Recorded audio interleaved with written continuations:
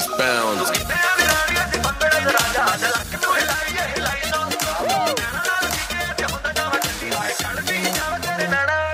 ਨੱਚਦੇ ਟੱਪਦੇ ਤੇਰੇ